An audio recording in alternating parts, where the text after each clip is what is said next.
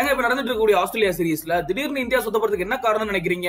ஆமா ரஞ்சில விளையாடவே இல்ல. அப்புறம் என்ன பண்ணும்? இந்த சீரிஸ் தொடங்குறதுக்கு முன்னாடி எல்லா பிளேயர்ஸும் ரஞ்சி டிராஃபில விளையாண்டுருந்தாங்க அப்படின்னா இப்ப நல்லா செட்டில் ஆகிருக்கலாம் சூப்பரா விளையாண்டுருக்கலாம். அதான் விளையாடவே இல்லையா. அப்புறம் தடுமாற தான் செய்வீங்க அப்படின்ற மாதிரி பேசியிருக்காரு இந்திய அணியின் முன்னாள் கிரிக்கெட்டரான கௌதம் கம்பீர். ஓகே என்ன நடந்திருக்கு? கௌதம் கம்பீர் என்னெல்லாம் சொல்லியிருக்காரு அப்படின்றத பத்திலாம் டீட்டெயிலா பார்க்கலாம்.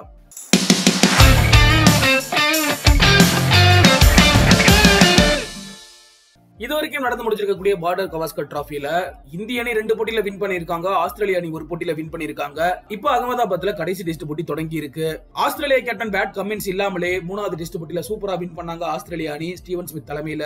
குறிப்பா இந்திய அணி நூத்தி ஒன்பது ரன்கள்லயும் நூத்தி அறுபத்தி மூணு ரன்களையும் ஆல் அவுட் ஆனாங்க.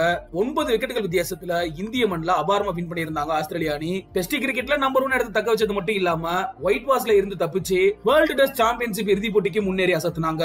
இப்ப நடந்துட்டு இருக்கக்கூடிய அகமதாபாத் டெஸ்ட வின் பண்ணா மட்டும்தான் இந்திய அணி வேர்ல்டு டெஸ்ட் சாம்பியன்ஷிப் இறுதி போட்டிக்கு நேரடியாக முன்னேற முடியும்? இந்த தொடர் தொடங்கும் போது ஆஸ்திரேலிய அணி ஆரம்பத்தில் தடுமாறினாங்க. இப்போ ஓரளவுக்கு செட்டில் ஆகி சிறப்பாகவே அடிக்கிட்டு இருக்காங்க. இன்னொரு பக்கம் எடுத்துக்கிட்டோம்னா இந்திய அணி தடுமாற ஆரம்பிச்சிருக்காங்க.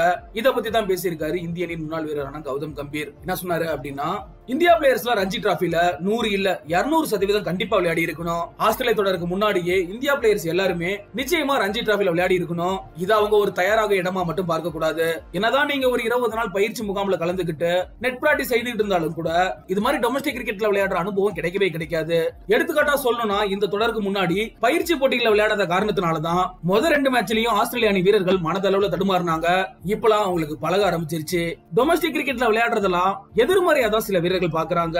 அது இந்தியா பிளேயர்ஸ்க்கு தான் பொருந்தும். இந்த டெஸ்ட் தொடர் தொடங்குறதுக்கு முன்னாடியே ரெட் பால் கிரிக்கெட் விளையாட வேண்டியது அவசியமான ஒண்ணு அப்படின்னு சொல்லி இந்திய அணியின் முன்னாள் வீரர் கௌதம் கம்பீர் இந்திய அணியை சாடி இருக்காரு. அவர் சொல்றது நூறு சதவீதம் உண்மைதான். முன்னாடி எல்லாம் சச்சின் கங்குலி எல்லாம் இருக்கும்போது ஆஸ்திரேலியா மாதிரியான பெரிய நாடுகள் இந்தியாவுக்கு வராங்க அப்படின்னா முன்னாடியே ரஞ்சி டிராபில களமிறங்கிடுவாங்க அங்க நல்லாவே பயிற்சி எடுத்துக்குவாங்க. ஆனா இப்பெல்லாம் விராட் கோலி ரோஹித் சர்மா மாதிரியான நட்சத்திர வீரர்கள் யாருமே ரஞ்சி டிராஃபி பக்கமே போறது கிடையாது.